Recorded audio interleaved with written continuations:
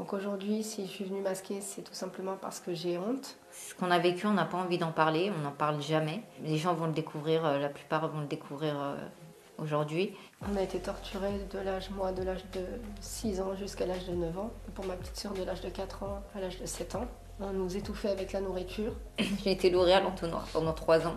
J'avais 4 ans quand ça a commencé. Ça s'est terminé à 7 ans quand on est rentré chez notre mère. Ça, c'est un des nombreux euh, sévices qu'on a subis. On a aussi eu euh, des étouffements, on a eu des, des noyades dans l'eau froide. C'était le quotidien. On dormait dans la cave. On était abandonnés dans les bois la nuit. On devait manger de la cervelle la nuit, crue. On était menacés sans cesse. En fait, on n'a pas vécu, on a survécu. Pendant trois ans, on a survécu. On était, voilà, moi et ma soeur seuls. Il n'y en avait personne à qui parler. Il n'y avait personne qui nous demandait comment ça allait à ce moment-là. Et on faisait semblant devant notre famille parce que pour nous, c'était des punitions. Si on avait des punitions, c'est qu'on avait fait une bêtise. Si on a fait une bêtise, on rentrera pas chez notre mère. elle nous le répétait sans cesse qu'on était des enfants de la DAS. Alors en fait, euh, on savait que si on, de, si on parlait, euh, on serait jamais cru. Déjà, si notre parole, elle valait quelque chose, on nous aurait pas mis dans cette famille d'accueil, puisque lorsqu'on était interrogé par euh, l'assistante sociale qui venait nous voir avant de nous avoir placés, notre parole, si elle avait une valeur, on nous aurait pas placés, puisque nous, on était très bien chez notre famille. On n'a subi aucun, aucune torture, aucun sévice Rien du tout. On nous a placés parce qu'on avait manqué l'école à plusieurs reprises. On était en maternelle, l'école n'était pas obligatoire, donc quand bien même on n'y allait pas du tout. Est-ce que ça mérite de placer des enfants qui se sentaient bien? Les seuls souvenirs qu'on a, c'est de l'amour, euh, une famille nombreuse et... Euh, on était heureuse, on manquait de rien, on mangeait à notre faim et on n'a jamais été tabassé, on n'a jamais été torturé, on n'avait pas peur de la mort, on était, euh, on était des gens normaux en fait. Et cette personne-là, elle a torturé moi, ma soeur et moi, mais on a aussi assisté aux tortures des autres. Et d'ailleurs, c'est comme ça que les nôtres ont commencé. Lors d'une première torture, on a voulu intervenir. Je suis arrivée la première parce que j'ai entendu crier. J'ai couru dans la maison quand j'ai entendu les cris. Et quand je suis arrivée, j'ai trouvé des excréments de partout et elle est en train de, de, de violer l'enfant avec un bâton. Et je l'ai insultée, je l'ai frappée, j'ai crié, j'ai craché pour qu'elle lâche l'enfant. Ma soeur est arrivée directement. Et c'est là qu'elle a commencé à s'attaquer à nous, parce qu'on avait vu.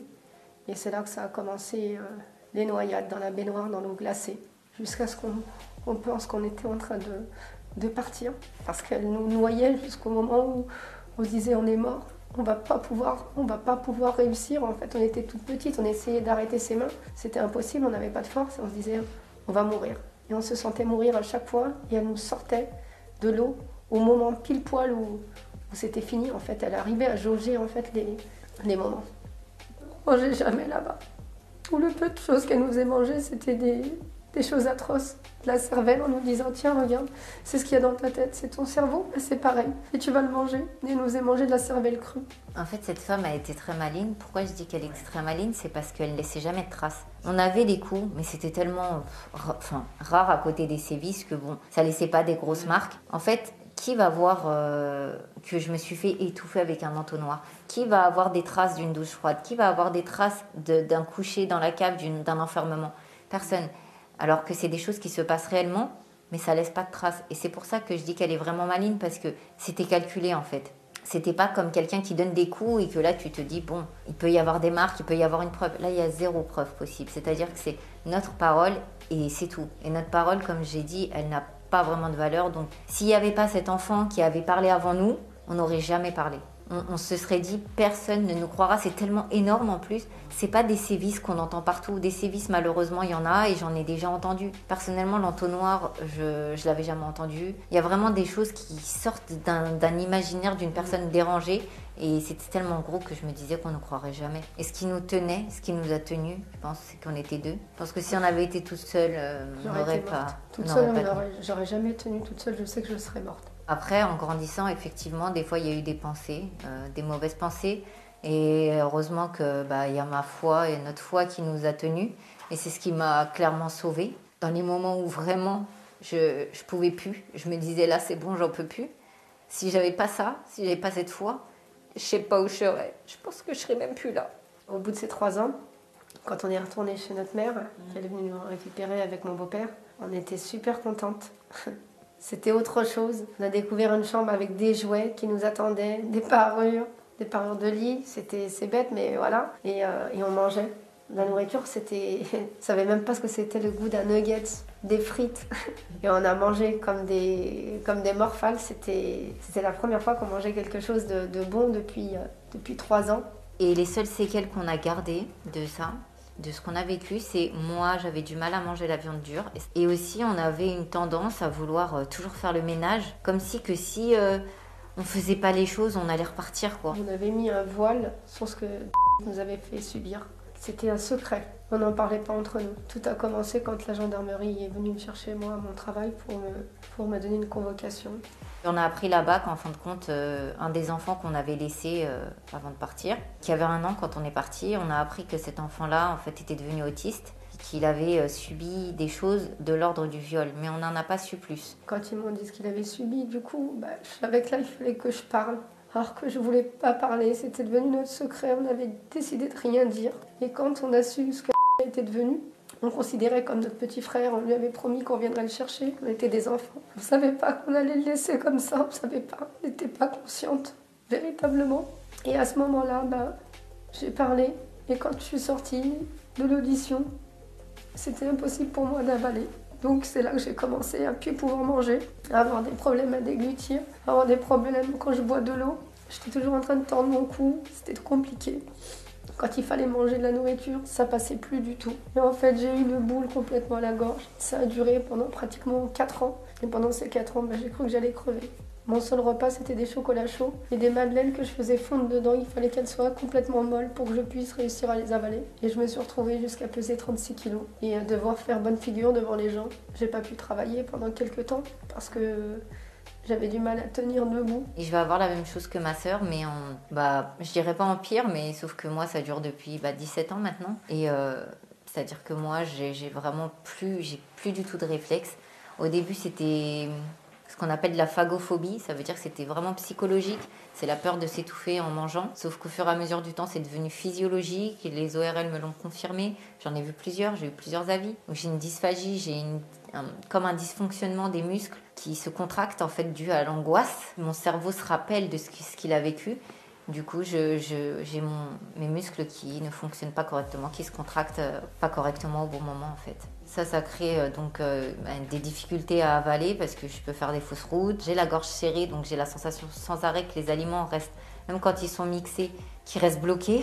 Donc sensation d'étouffement et du coup, ben, forcément perte de poids. Je n'arrivais tellement plus à me nourrir. J'avais ma fille déjà à ce moment-là. Je buvais que du liquide et avec grande, grande difficulté. Je disais, là, je vais mourir. J'allais taper à toutes les portes pour demander de l'aide au médecin et puis on me prenait pour une anorexique. Donc euh, ah là, vas-y, c'est une anorexique, elle veut juste maigrir alors que eux, ils comprenaient On pas que mon rêve, c'était même On d'être... aimerait euh, bien manger un sandwich comme quelqu'un de normal et pas se poser de questions. Moi, il y avait un truc, j'avais parlé à Je voulais qu'il me mette dans le coma. À un moment donné, il y avait euh, Ophélie Minter qui avait demandé à un moment donné Ah oui.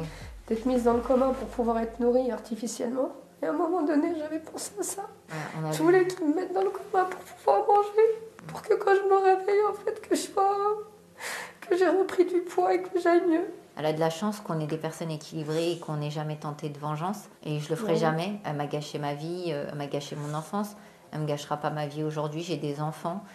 Pour rien au monde, je, lui laisserai la chance de pouvoir me gâcher ma vie de famille. Là, notre combat à nous, ça va être de se battre pour nous, mais de récupérer justice pour et si on peut faire rouvrir son dossier, lui donner justice. Parce que malheureusement, contrairement à nous, bah, lui, il n'est pas en capacité véritable de parler, malgré que tout ce qu'il a, il a pu dire était complètement similaire à ce qu'on a vécu.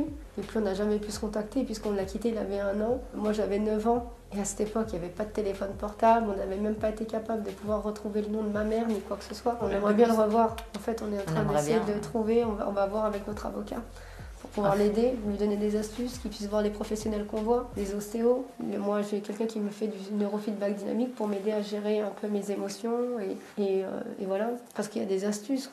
La nourriture, la mixer, prendre des compléments alimentaires. On ne savait pas qu'il y avait des rénutriles, tous ces trucs-là. On pensait que c'était que pour les cancéreux. On a su qu'on pouvait en prendre. Donc on prend, euh, voilà, de pouvoir lui dire tiens, t'inquiète pas, ça va aller, s'il y a ça qui va pas, tu peux prendre ça, ça, nous aussi on l'a fait. Lui dire euh, voilà, il y a toujours une solution, parce que nous on pensait qu'on allait crever, qu'on allait plus pouvoir euh, vivre. Parce qu'on s'est dit, il n'y a plus rien à manger en fait, on peut plus manger. Et là, on se dit pas, on peut mixer, on peut faire comme ci, comme ça. On a trouvé des astuces sur le tas. Et au final, on a toujours une option pour pouvoir tenir. En fait, je veux juste qu'elle dise la vérité. Peut-être que quand elle va dire la vérité, peut-être qu'on va réussir à manger, peut-être qu'on va en fait, c'est comme si ça va passer. En fait, mm. j'ai l'impression que si elle nous enlève ce sac à dos, qu'elle récupère son sac avec tout ce qu'elle nous a fait, qu'elle dit la vérité, ben nous, on va peut-être vivre comme des gens normaux. Et là, ça fait des années en fait. Là, moi, je suis partie de là-bas, j'avais euh, j'avais 9 ans. Mm. J'ai 37 ans aujourd'hui. Moi, j'ai essayé de contacter cette personne euh, un soir où je regardais le film Police et euh, ça m'a bouleversée toute la nuit. J'ai fait que pleurer et j'ai décidé de chercher partout les coordonnées de, cette dame qui nous avait, euh, était notre famille d'accueil. Je l'ai retrouvée très facilement d'ailleurs. Quelques semaines après, j'étais prête, j'étais avec ma cousine, je l'ai appelée. Elle m'a répondu. Au début, elle était toute joyeuse quand elle savait pas c'était qui. Quand je me suis présentée, son sourire, on entendait qu'il était plus présent. Donc elle attendait en fait, elle attendait la sentence quand je lui ai dit. Tu te souviens de nous? Elle a dit euh, oui. J'étais enceinte j'étais très amaigrie. Je lui ai expliqué que j'étais enceinte et que je n'arrivais pas à me nourrir. je lui ai demandé si elle se souvenait de l'entonnoir et de là, euh, elle m'a répondu que oui. Je m'attendais vraiment pas du tout à cette réponse. Je m'attendais à un, non ou à un raccrochage en fait. Et euh, là, j'ai pleuré, pleuré. J'ai essayé de, de, lui demander des explications. Elle est restée silencieuse. Elle n'a pas raccroché tout de suite. Puis après, elle a coupé. De là, euh, j'ai commencé à écrire. En fait, je me suis dit, elle me répondra plus jamais. Donc, je voulais lui envoyer un courrier. J'ai commencé à écrire une lettre. Puis cette lettre, elle se terminait plus, en fait. C'est passé d'une page à deux pages, jusqu'à 19 pages. Et après, euh, je, me suis dit, faut que je lui écrive, faut que j'écrive un livre. Et comme ça, elle le lira, quoi qu'il arrive. Et euh, quelque part, ça sera ma justice si j'en ai pas une réellement. Ça sera, entre guillemets, une justice d'avoir pu tout dire qu'elle sache qu'on se souvient de tout dans le moindre détail, qu'elle pense pas qu'on est oublié, qu'on se souvient de ci, de ça, non, on se souvient de tout. Et on est obligé de tenir pour nous, moi pour ma soeur, pour mon fils, pour ma mère, pour mes neveux, pour mes nièces, pour toute ma famille. Et puis aussi pour, pour lui, et puis pour tous les autres enfants qui pensent que, qui, qui se disent on va rien dire, mais il faut parler dès le départ parce que sinon vous allez vivre avec ça pendant des années et après ça sera trop tard. Il y en a qui sont déjà morts parce qu'il y a des gens qui se sont suicidés. Et là, de leur dire, bah écoutez, nous on est là. Pourtant, nous, euh, on est au bout du rouleau des fois. On a envie de lâcher et tout. La corde, on se dit, ça y est. Mais on tient. On a des super belles journées. Des fois, quand on a une super belle journée, pour nous, c'est un truc énorme. Donc voilà, il y a encore de l'espoir. On est la preuve vivante qu'on peut s'en sortir, qu'on peut ne pas être euh, des délinquants, des cassos parce qu'on est des enfants de la DAS. On est des êtres humains, on est des enfants, parfois des enfants qui en ont réellement besoin. Vraiment prendre ça plus au sérieux et pas comme si on était juste des, voilà, des numéros de dossier qu'on dépose et puis ça y est, c'est fini. Derrière, il peut y avoir euh, du, bon et puis voilà, avoir une belle famille, avoir un bon métier et s'en sortir dans la vie tout simplement. Il ne faut pas euh, être défaitiste et se dire voilà, je sors de là alors tout est perdu pour moi.